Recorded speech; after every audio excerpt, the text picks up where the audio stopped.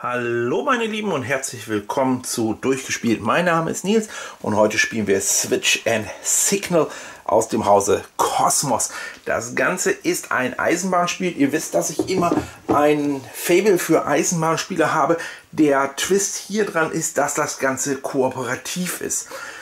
Bei kooperativen Spielen hat man ja oft so, dass man gegen das Brett, gegen die Zeit spielt. Das ist auch hier so. Wir haben hier oben einen Zeitmarker-Pool. Es gibt ein paar mehr, falls man es einfacher machen will. Dann hat man hier Sieg, äh, ähm, ähm, Weichen. Die werden hier dran symbolisiert. Man hat diese Züge und wir sagen jetzt mal, wir kommen hier aus Nürnberg und fahren an München vorbei dann sieht man, hier ist ein Signal auf grün. Wenn es auf rot ist, darf ich da nicht rausfahren, dann muss ich in die Richtung rausfahren. In diesem Fall ist es aber so, ich fahre hier lang und dann komme ich an diese Weiche und da fährt man immer die offene Straße lang. Wenn im späteren Verlauf es so ist, fahre ich so und würde hier stehen bleiben. So läuft es mit diesen Signalen. Wir haben drei verschiedene Züge, schwarze, schnelle, braune, etwas langsamer, graue, ganz langsam. Dann sehen wir hier außenrum noch Zahlen. Das sind sozusagen die Einsetzpunkte für die Eisenbahn. Und wir haben diese Aufträge hier. Ähm, es wird genauso sein, der Flow des Games ist, dass jeder einen dieser hier umdreht. Hier zum Beispiel setze einen Zug deiner Wahl ein, darum grau, braun oder schwarz und danach fahren alle Schwarzen. Achtung, grau und schwarz sind nicht immer ganz einfach zu erkennen. Das sieht man hier immer schön darauf achten, dass es alle braunen fahren und alle grauen. Hier nur alle schwarzen und hier alle von einer Farbe, die man sich aussucht, danach eine andere Farbe. Es müssen immer witzigerweise alle fahren. Wenn also zwei braune hier auf dem Spielbrett sind, so, dann fahren beide braune. Also, als allererstes dreht man so eine Karte rum und führt die Eigenschaften davon aus. Man hat hier 18 Karten im Spiel, man nimmt aber nur 16 plus die Startkarte. Zwei nimmt man raus, damit man auch nicht immer genau weiß, was passiert. Wenn es darum geht, einen Zug einzusetzen, sind im Verlauf des Spiels fast immer diese Symbole zu sehen. Dann sucht man sich einen aus, sagt man, macht den schwarzen, würfelt und dann kommt der hier unten auf der 12 rein. Wenn man was anderes würfelt, kommt der natürlich irgendwo rein. Sollte es soweit kommen, kann ja hier bei einer 9 mal passieren. Man würfelt danach also eine 9. Dann passt der nächste da nicht rein. Schade, in dem Fall gibt man zwei Zeitmarker ab.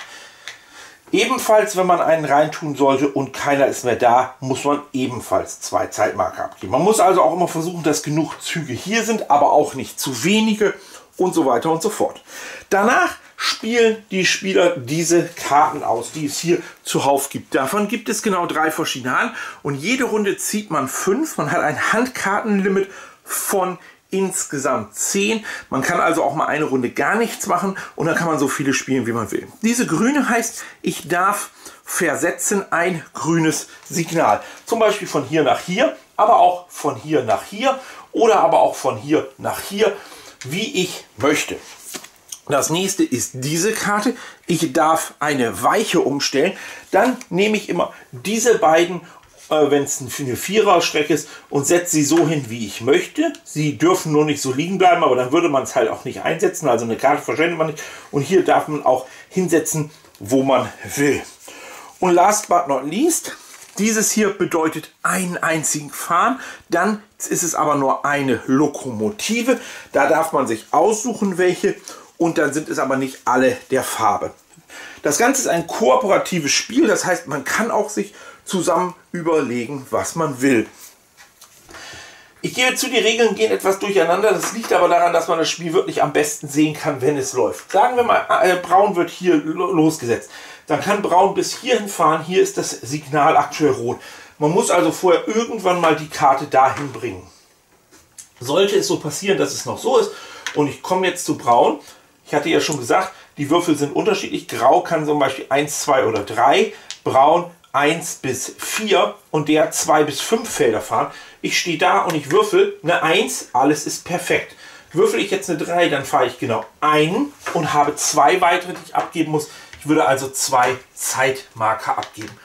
Kommt es dabei, dass der Pool hier von Zeitmarkern auf 0 oder sogar Minus sinkt, dann nehme ich eine Karte verdeckt hier raus, habe also weniger Aktionen, eine Runde weniger, die ich spiele und es werden oben neue Uhren aufgefüllt. Fährt der Zug auf einen anderen auf, weil der Graue da nicht aus dem Weg kommt, gehen auch die verlorenen Schritte, hier in diesem Fall drei, sofort auf die Zeituhr. Ähm, wenn ich hier drin bin, muss ich eine Karte abgeben, um so einen Cube auflegen zu können. Wir kommen nämlich gleich dazu, was man macht.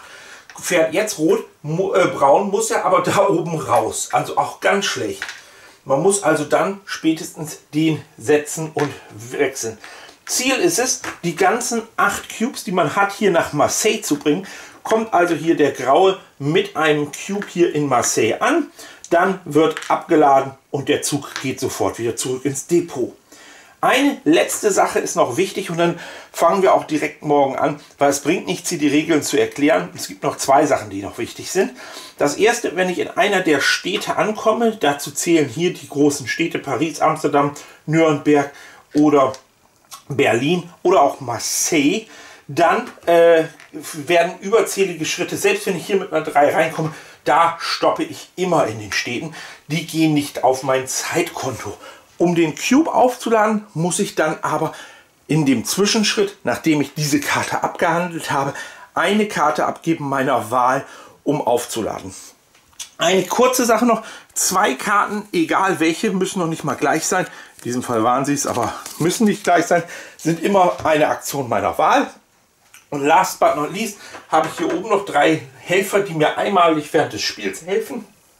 Einmal den farbigen Zugwürfel wieder würfeln neu.